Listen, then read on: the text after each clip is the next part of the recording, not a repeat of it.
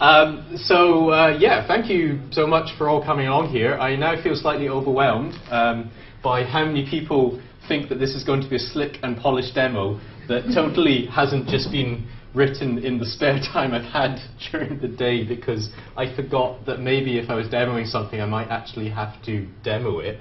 Uh, but anyway, um, so I'm going to be talking about this piece of software and work that we've been doing called the Software Assessment Framework. And basically, uh, this has come about for two reasons. One is uh, that we're interested in understanding how to uh, measure software. And in this case, I've just been in the software metrics blog post and discussion section. Here, we're really talking about measuring aspects of the software or the producers of software themselves rather than uh, understanding how you might do kind of credit for software or something like that. Um, and the other is because uh, EPSRC gave us money to do this because they would really like to know which software they should stop funding. Um, they didn't quite put it like that, but that's effectively what funders are also interested in. So, you know, how do they decide where to put limited resources um, into pieces of software? So how do you make that choice between a piece of software which has hundreds of users um, but might be really shoddy uh, kind of quality versus something that has tens of users uh, but was really well made? That's actually a really difficult question. Um, and as I said in my lightning talk, the problem is that we are talking about what is good software and how can we measure how good it is, but really we can't do that unless we have hindsight. So um, here are the kind of reasons we care. Um, as a researcher, what we're interested in is making it easier to choose between software, um, as a software developer, we're kind of trying to increase recognition of good practice. Um, from the industry perspective, one of the things we hear a lot is that people can't use research software in industry because they don't think it's of uh, good enough quality to pick up, particularly if you're a small or medium-sized enterprise where you don't have the resources of a Microsoft to kind of go in and redo everything. So um, all of these are kind of very good reasons why we should care, and the question is, how can we help this? Um, so I think I've said this one already, yeah. Uh, good, is, good is determined by the user based on their future needs, so you need hindsight. So, um, we've been trying to understand how to create good proxy criteria for this that might be measurable. Um, and the obvious thing to do in this case is look at what's being done for data, uh, because data has had a 10 to 20 year head start on us.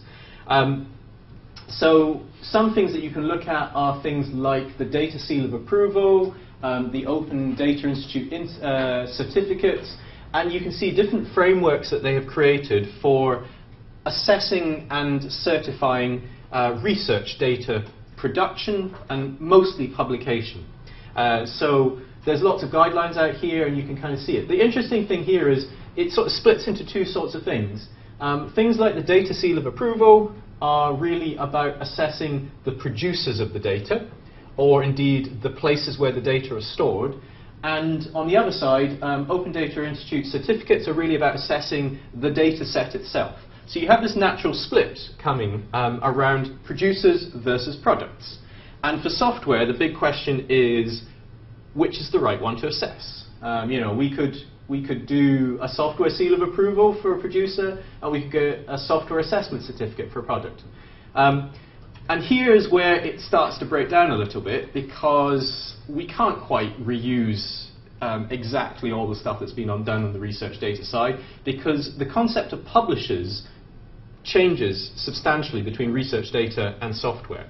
Um, most software, um, and I say this in quotes because it is um, me kind of invoking the anecdotal evidence, uh, most software is not published through a repository. Uh, the majority of research software is published on web pages. Um, if it is published in a repository, that repository is GitHub. Um, and if you want to work, uh, find out how we know that, ask Simon, who's been trawling through everyone's Researchfish entries to find out where software actually is stored. Um, and the problem with this is that these are not really repositories that we control in any way or sense. And we cannot really say that software has been published through them in the same sense that research data is. So the comparison starts to break down. But you know, we could we could start still do that and look at both software producers and software products and understand what it is we might want to start measuring. Um, I'm going to skip that a little bit, though. because I want to get onto the actual demoing bit. Um, so there's a lot of related work. Um, one of the things that came up in our discussion group is there's a lot of existing um, practice here. Uh, in software engineering, there's a lot on software quality. Uh, in research software, there's an increasingly large set of uh, guidelines, and now I realized this was the place where I needed to find the links I was trying to put in our blog post. Um, so each, uh, each community is starting to come up with their own guidelines for what they think um, uh, software quality means. So for instance, ESIP uh, have produced some guidelines for earth sciences, CLARIAH have done some uh, guidelines for um, the digital humanities, um, ASCL have started kind of doing some work for astronomy. So there's all these kind of guidelines that are going on. And also there's a lot more tools. So things like Depsy and libraries.io. Who's heard of Depsy? Okay, who's heard of libraries.io? Same group.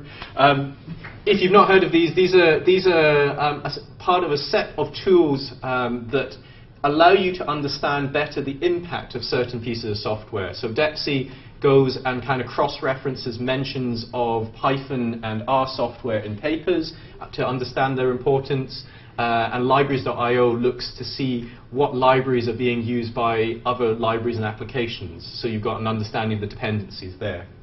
Um, so there's all these kind of things that are going on. So there's a lot of related work, but there's still relatively little tooling. Um, and part of the reason for that is it's actually quite hard. So um, the thing that we've noticed is that when you start trying to look at some of the measures that people propose, many measures are subjective. So the most commonly um, recommended one is it has documentation that works for me. Um, that's subjective on so many different levels. Um, so the question becomes, how do you try and make them more objective measures? Second one is that many me uh, metrics are costly to measure. Um, so some of them are, can be done quite easily using automation, but many of them require time, effort, or money to really uh, to, to, do properly. Uh, and one of the things that kind of alarms me the most several of the well-established um, software metrics coming from um, software engineering may not be accurate, um, particularly for the software that we're talking about. So there is a increasing body of work that says some of the software metrics that are out there and in common usage, some of the things that you may have heard about, like the kind of like code complexity, um, don't work anymore, given that we no longer have the kind of monolithic code bases that we, uh, we had in the 60s and 70s. So, um, all of these things make it hard to create tooling. The other thing is it's unclear what we're doing this for. So are we doing this to help people improve their software? Are we helping it, uh, doing it to help people compare the software? Or is it to do some sort of accreditation quality? So all sorts of questions that we're trying to answer with these sort of things. So we did a pilot exercise to look at this, um, trying to find out why people think software is good. That's really hard to do as well because just now there is no um, there is no set of data that says these things are scientific software or research software and these particular ones people think are good or bad. So that's one thing that I'm, I'm interested in, in hearing from people. Um, and the sort of things that came back are much as you would expect. So the sorts of things that people are looking at are around documentation, number of users, um, signs of activity, the quality of the documentations, um, things like related publications and citations, which is very important for research in a way that uh, is not at all important for most types of software, and things like case studies and examples of real-life use. There's a large part of this which is all about the time dimension. So one of the things we've been conscious of is things change with software development through time. How do we have an assessment framework that will allow us to create metrics that have that time dimension um, and in many cases, usage might be the most important feature, but how do you measure usage effectively? Um, and obviously there's this problem about hidden software. We're not going to deal with that. If the software can't be found, that's another problem, and not one that can be solved by this sort of thing. So what we'd like to try and do is create a badging system that rewards practice. Um, we'd like it to be really easy to get the lower levels of badges, so everyone can have that little pat on the back and say, you're doing the right thing, and make it progressively harder to get to the very high level of badges. So many um, kind of um, uh, systems have this idea of kind of like bronze, silver, gold, platinum, and so on. And maybe we could do something like that. And this was one of our first attempts to try and look at some of the categories. Um, the other thing we wanted to understand is when we should assess uh, software. So uh, there are different times we could assess software. We could assess it when, uh, when kind of like a major release has been published. So that's assessment based on the software producer deciding to submit it, um, or indeed on uh, at the point where software is used in a major publication. Again, that's kind of like something where the choice is on the producer of the software. You could look at it on the other side. Um, you, could, you could argue that we need to do this like a food hygiene certificate, where all software producers, all research groups are assessed on a regular basis, and they need to go in for assessment again um, at periodic intervals, or indeed on just applying for a grant. So you know, you, you can't submit a grant until you've had this little tick that says you follow the basic good practices for producing software. And then there's a question of whether this is self-assessment, peer assessment, or through some sort of official accreditation authority. Um, from my perspective, that last one is a bad idea. So we'll see. Um, and then uh, the last thing on, on the kind of like background on this is uh, understanding the kind of attitudes to this. Because we got to be careful here. I mentioned at the start that one of the reasons why people are interested in doing this is because uh, people want to make decisions, hard decisions about where funding might go. And one of the things we don't want to do is discourage people from getting their software assessed or indeed from just producing software. Um, so how can we how can we kind of understand the attitudes that will ensure that people uh, use this for their own benefit, not just because someone else says they have to? Um, and that's kind of tricky. So anyway, that's the kind of background. Any questions? No? Okay. Uh, so, so here's what we tried to do. Um, and this obviously is the user interface I'm going to show you later. No. Um, th so these are, these are mock-ups using Balsamiq.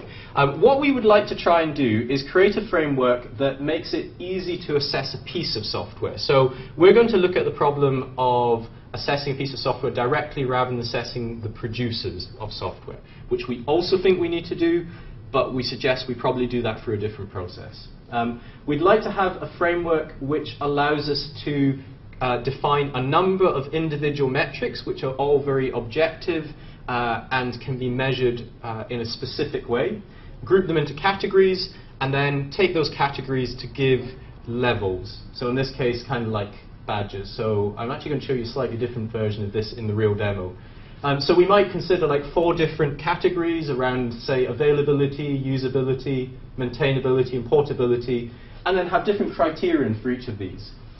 And the thing that we really want to be able to do is um, make it possible for um, different communities to create different kinds of templates based on these metrics that represent what they care about. So this idea of being able to switch different metrics on and off and assign importances to them. So that um, you might think, for instance, that um, usability is really important, and I might think that uh, actually I'll trade off usability for performance. So all these different kind of things could be done through this sort of framework by having a, uh, a kind of like um, a decoupling of the way that the metrics are calculated and the way that an overall score is applied to a piece of software. Um, what we hope will happen is that we're able to kind of put together some basic templates for people, and then people can, yeah, can, can kind of go on and change them. Dan? Yeah, I was just going to ask you, do you consider this to be time invariant? No. So, so if by time invariant you mean uh, do it once and then it, it's, uh, it's, it's kind of like the same for all time, or? You, expect that the software assessment would change over time without the software changing? Um, yes, we would. Um, so, so uh, when we we had a workshop um, three weeks ago, I think, at which I'm trying to see if anyone in this room was at that workshop. No, like lots of people who were from the same organizations as people in this room were at this workshop, but none of you were actually at that workshop.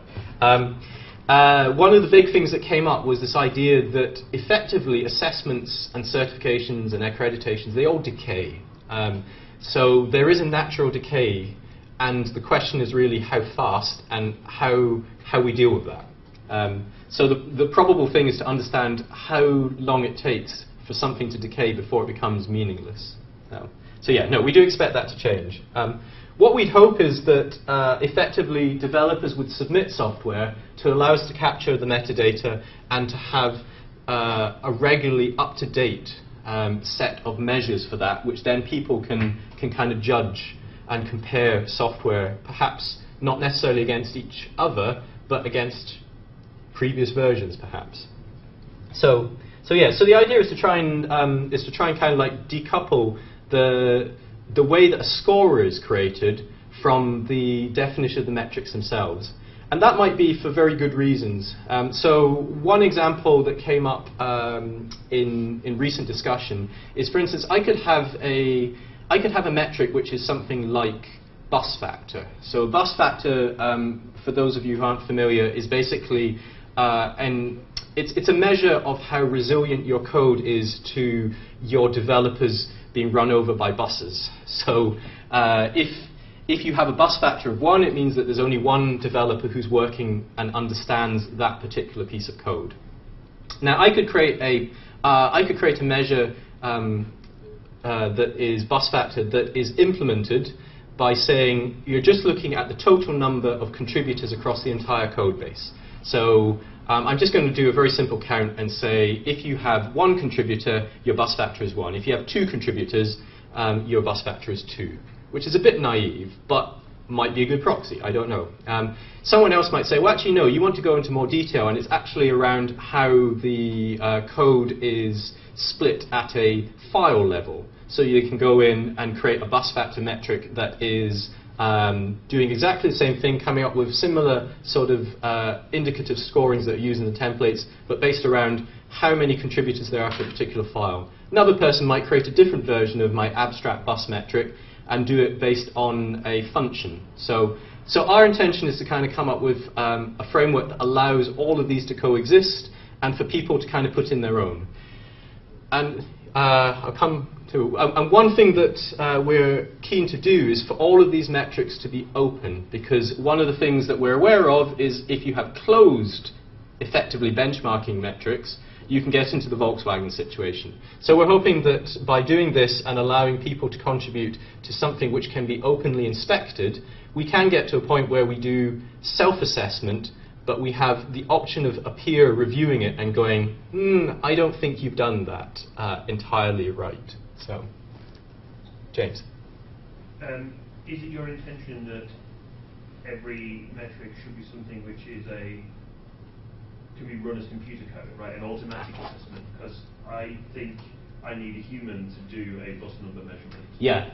So no. So um, we we effectively have two different types of um, basic abstract metrics. One is, uh, one is one which looks at the properties of the code base in a version control system, and the other one is one which asks a, uh, a user to, or, or a developer to answer a specific set of questions.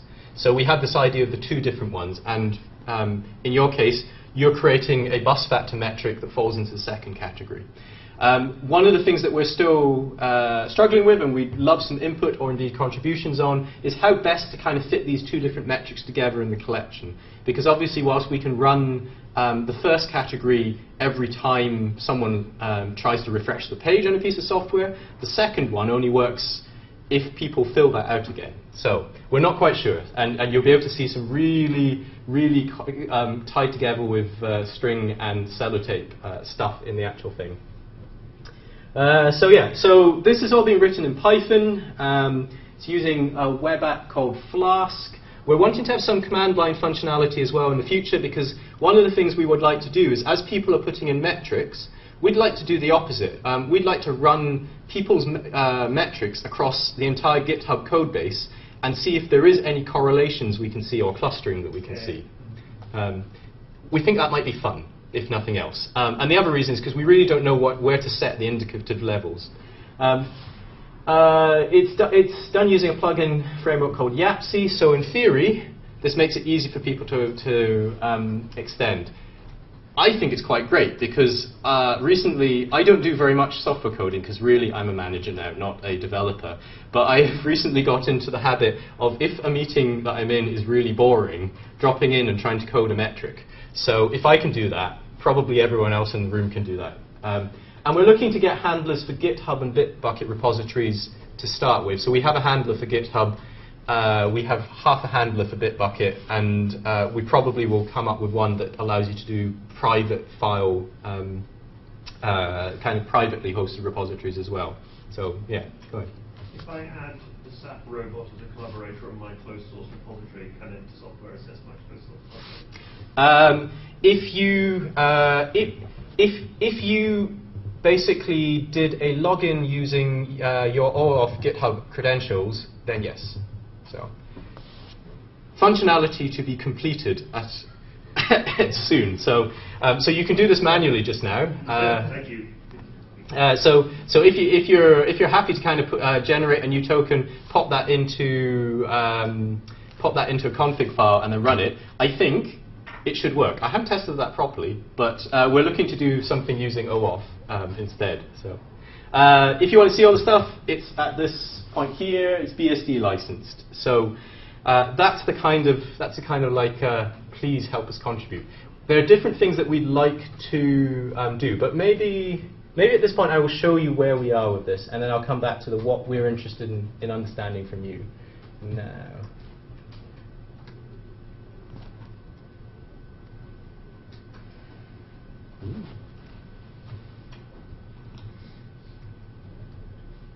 Can everyone see this? Okay, so this is the this is the repository itself. Um, if you're interested in trying this out, uh, head to this repository, go to install um, MD, uh, and please check out our installation instructions. And I hope that it all works for you. If not, file an issue. Um, uh, if you're interested in kind of understanding, um, uh, sorry, if, if, you're interested in contributing or have ideas for new metrics, please do kind of put um, them in as issues. Because uh, I think one of the things we're trying to do is understand what people would like to see measured, even if they're not contributing those metrics themselves. okay, so this is the bit that gets funny. So I'm going to tell you why this is funny after I've asked for some audience participation. Oh no. that's, that's spinning. Spinning.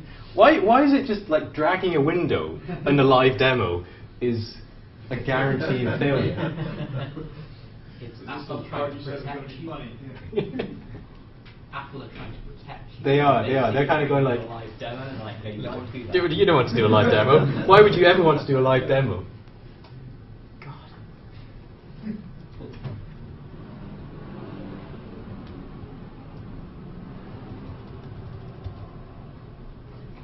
Did you say that the, criteria currently mix things that would be automatically scored and others that would be reviewed by an individual? Yes. Who would those individuals be? That's a good question. Who do you think those individuals should be? Well, I think it's, the temptation is that they're probably going to be more the kind of software experts when in reality, it, you know, you, you possibly want to ask complete novices how well they got on with the software because they're the ones that are going to, you know, running into problems if it, you know, the idea of good documentation is subjective. Yeah. If you work in that field, then you might not as much documentation as someone who's new to that field or someone who's never Yeah.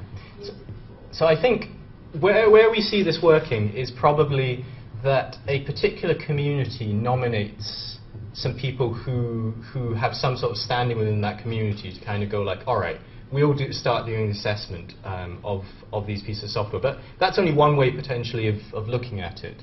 Um, you might find that in other communities people are perfectly happy for anyone to put in an assessment um, as long as uh, they're named, for instance. So you can kind of go back and go like, why did you assess it like that? Um, so, okay, let's see if this works now. So what are the kind of metrics that we started coding for? Um, so, so here's some examples of the kinds of things. I don't know if you can, can people see this at the back? No. Okay, right. Is that better? Yeah. Okay. So there are some things that we can do automatically. So let's take usability as a category. So there's some things that we can do automatically. We can, we can look and see if there's a README file um, in, in a repository. That's quite a simple thing to look at. Um, and we can look to see whether there's a contribution policy. Um, again, relatively easy to do. And then the, here's the one of um, that kind of fits your cat kind of category. So end user documentation. Uh, that's something where really we want some person reviewing that because we could kind of do end user documentation. There's, there's absolutely no one, nothing stopping one of you going there into the code base and putting in a metric for end user documentation that simply looks at the number of lines. You know, why not? Um, is it a useful one? Probably not for most communities. So here's one that, that you would see as being separate. Now here's a good question. I've never tried clicking on these links before. This is, this is stuff that uh, John, one of the developers, put in um, on Friday, so I've got idea. Why has I? Ah, okay. Um, so yeah, so README. Um, so each metric has kind of like a little bit of metadata behind it. Um, so in this case, you know, test for the existence of the file README, um, what category it's in. Uh, so that one there, self-assessment, yes or no. So in this case, it's an automatically assessed one rather than a self-assessment one. Um, Is it also possible to have metrics which combine, so like on the documentation, I could imagine uh, code which like tries to find the documentation, and then if it if it doesn't, it told it up human. So we think that the way we do this is through combinations of the two types of metrics. So doing that at more at the scoring level, um, simply because uh, whilst that seems like kind of a nice idea of doing it, um, the problem you get there is what happens if a person is not available. So it's kind of like I, I, we want to split the, the things that would run effectively at a regular um, schedule versus the things which require human intervention. So instead we'd look at it and do it like this. So um, you could, might split it into an automatic one that says, can we find documentation? Um, and then a, uh, a kind of like what we call a guided assessment one, which says, how good is that documentation? So splitting that out. Um, if you can come up with a good way of doing that in combination, we're all ears. Um, but we suspect that those two things have to be split just for practical purposes. Yeah. With the, the automated search for a, a README file, Yeah. what happens in the in the case where where my project doesn't have a README file for some perfectly brilliant reason that we can't see now? What, what happens then? Like I have a file in another language or, or something. I, something that we can't conceive now. What happens? Yeah. So I guess there are two there are two answers to that. So the first case is uh, the one where actually the way we've implemented the metric is wrong, but the metric itself is fine. So that's the case of, for instance, um, we're scanning a foreign repository and the README file uh, is still a README file, but the way we're looking for it is, is uh, being incredibly privileged and only considering the English language. So that's a case of we need to we need to fix what is essentially a bug in the implementation. Um, the other one is more interesting. So the other one is basically, do you consider that metric to be a good metric? And that one we're kind of leaving open to the community. So we're kind of going, uh, if you think this is a good metric, use it. If you don't think this is a good metric, don't use it. So, so we're kind of trying to split those two problems apart. But if, if I wanted to use the metric, Yeah. and you know, and I'm getting a low score in a particular thing you, you can't find a README Yeah. example I'm using, would there be a way that I email someone or say, listen, I understand that your bid process says I don't agree README and that's bad, but blah, blah, blah, blah, blah, my software is brilliant, make the school better. so, so that's a really interesting question because uh, I think in part that depends on whether or not we decide to run a kind of uh, a central mothership instance or not. If that's the case, then yes, um, potentially there, there, w- there would have to be that kind of mechanism. If, if the way that this is being done is everyone is running it as part of their own communities, then yes, again, there needs to be that case, but it would be different depending on the communities. The last thing, yeah. I suppose it's open source, right? So Yeah. theoretically I could run it on my own thing and I could change it myself and, Yeah. and modify it. Right. Okay. Yeah. So. My software rated A++. Yeah, you could. Um, obviously, then you'd have to publish that, and people would kind of go like, uh, if they see a metric that says if uh, if author equals Vince Knight, say thumbs up, extremely good. PR incoming. We'll give you a second. uh, so, so, so kind of this is a digression, but one of the things we were looking at is the potential for uh, really silly metrics as well to kind of get us a bit of publicity. So some of the silly metrics include uh, the, there's one that I've seen someone else use, which is the Dave factor. How many of your contributors are called Dave? But yeah, anyway. Um, so I was thinking that some of these um, tests are quite heavyweight, so actually getting someone to read through the documentation and see if it's um, good, Yeah. which you might only want to do on a release.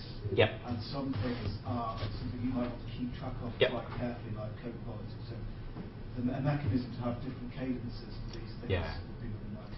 Yeah, so uh, the thing that we've not yet, uh, well, there's a lot of things we've not yet done, um, but one of the things that we do definitely need to do is understand how we can uh, make it easy for people to set appropriate cadences. So at present, we think that the default will be uh, will be that things like the things that automatically assess will be assessed as fast as we have uh, capacity, bandwidth, and um, the good grace of GitHub to allow us to do. Um, whereas uh, for things which are um, kind of like uh, assessed by a person, it will become more like on a major release.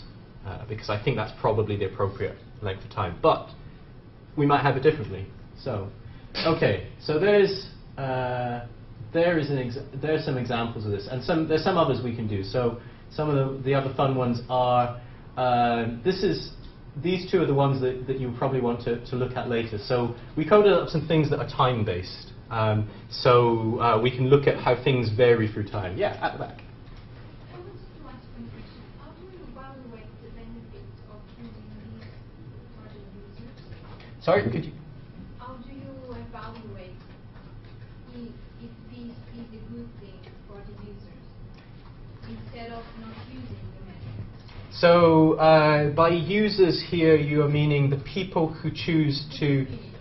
Yeah, that is a really good question, um, and I think I think that kind of gets down to uh, the question of two questions. One is uh, actually are metrics useful for particular different use cases? So, is it useful to use particular uh, metrics, for instance, to aid your choice between two pieces of software?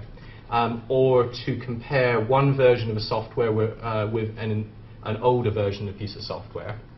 Um, and then the second thing there is do, uh, do people, do users have enough trust in these numbers or these measures or these badges to actually believe what they're saying? Um, so the first one is, is an interesting one um, because I would say that intuitively we all use different types of measures, different kinds of indicators to do things like compare two pieces of software or to understand um, whether we think a new version is better or worse than the old version. Um, so if we think about the way that we might choose uh, a piece of software from um, an app store, um, there are many different ways. You might look at the review ratings, you might look at the individual reviews, you might just look at the what's changed and so on. So, so intuitively, people do use metrics. The question is, do we trust the metrics to give us the answers that we want? And the only way I think we can do that is by trying some of these out and working with communities to understand what they trust and what they don't trust. So one of the things that I haven't mentioned is um, we're now at the stage where we're going to start trying to pilot this with people as uh, once we have a, a wider set of um, measures to kind of measure things on. But yeah, that. Have you, um, have you looked at uh, journals that do software peer review to see if the things that they ask their reviewers to do match the things that you've asked looking for here? Uh, we did do uh, something. I, I, I, in, in part, I was trying to come back to this, and maybe you're exactly the right person for me to ask this question. I know I was sitting in a workshop where there was a split subgroup that looked at uh, different journal policies review um, review of software. Um, so we basically kind of like created a document that is sitting on Google Drive somewhere that looked at four or five journals, different policies for reviewing software. Um, and I can't find that document anymore. It wasn't me. Okay, it wasn't you. It was probably Reproducibility 2015 then. Um, that gives me, that's good then, because if it wasn't WSSSPE, I've got somewhere to do it. Yeah, yeah. It could have been a different WSSSPE group, but I wasn't in. Yeah.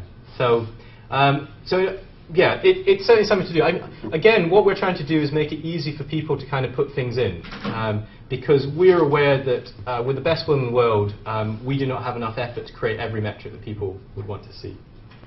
All right, I'm going to try something now. Here's the live demo bit then, because you know we want to do this. I think we've only. I think we're almost at time as well, aren't we? Uh, overtime. Damn it. Okay, so uh, here's here's the thing for you then. Um, uh, so, does someone want to put in a piece of software from GitHub? Yeah. Right. Who? Uh, the Axeron project, are you look, do you need to give you the URL or? Um, I'll probably be able to get it for a search, right? Yeah. GitHub and Axeron to bring up. Like this? Yeah. I say yeah, I couldn't see what you're typing. That looks like it's it. Yeah, that's it. Okay. So so this should be fun because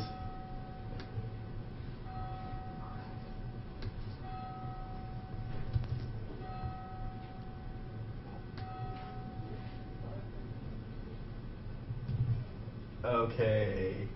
Um, note to self. Make default important. Would you like a GitHub issue that says that? Yes, please.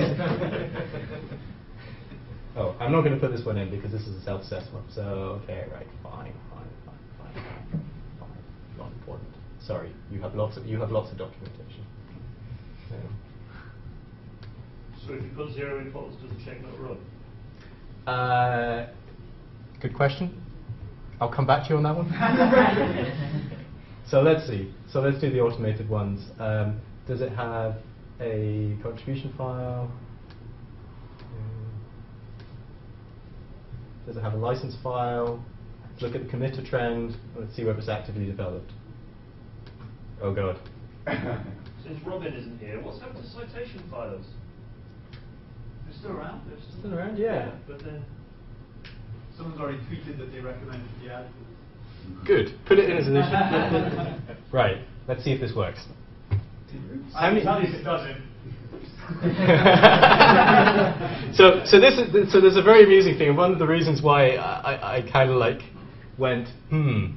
Um, so we've been running this on some popular repositories, and we've been coming up with some really interesting things. So with the limited set of metrics we have here, it turns out there are some some things that do unexpected uh, results. So the biggest one was we ran it on SciPy. Um, and so SciPy, uh, how many commits do you have, Vince? On this. Yeah. That many. Ah, okay. Uh, so yeah. Um, so yeah. So so for SciPy, uh, we um, we ran this and see what you get. Silver award. Nice, nice. That's good because actually we haven't coded anything for the gold. So. You're welcome.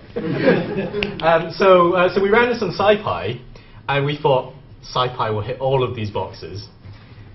The number of committers um, for SciPy is diminishing. so, so uh, under the way that we had configured this, uh, we ran this at a demo, and um, SciPy got a bronze award, and we were like, damn it. Good. But anyway, but yeah, so so this is this is kind of like a really quick introduction to what we're trying to do here. I think um, and like the last thing I'd like to, to sort of say, because I realise we're now um, behind time, is go away, go away. There we go. Um, so yeah, what we'd like to get from people is what are the things you'd like to measure in something like the software assessment framework. Uh, so um, if you have ideas for metrics, pop them in as issues. Um, if you're here on Wednesday, let's try and implement some of these. They should be fun. Uh, if you have ideas for really kind of silly ones, feel free to put those in as well, uh, because we, we'd like to try and test some of the, the data model that we're using here. So what we'd like to do is, if you can think of a metric that can be automatically assessed, um, using what you think you should be able to find in a GitHub repository, do put it in. The other thing we're interested in understanding is um, what sort of software should we use as benchmark? So when we want to do a test of this, what are the software pieces of software in your areas that you consider to be sustainable, valuable, or impactful? Um, because we'd like to know what it is you benchmark against. Likewise, if you have things that you can think of in your area which you consider as not sustainable, not valuable, and not impactful, we'd also like to hear about that. Um, and then the last thing is, I did say that everything's in GitHub, so um, that's where we put it. But actually, are there any other things that you'd like to be able to connect to? So one of the things we'd love to do in the Hack Day is do a um, is do a handler for the Depsy kind of uh, API. Um, so are there sorts of things that you'd like to do? I know someone else has mentioned um, to me uh, OpenHub's API as well. So what are the kind of uh, other um, facilities that you would like to draw into this so that it's all kind of available as part of the calculation of the scores? So um, thank you very much for listening to me. Do download this and run it on your own software and then complain at me when you realize that you all get bronze certificates. So, thank you very much.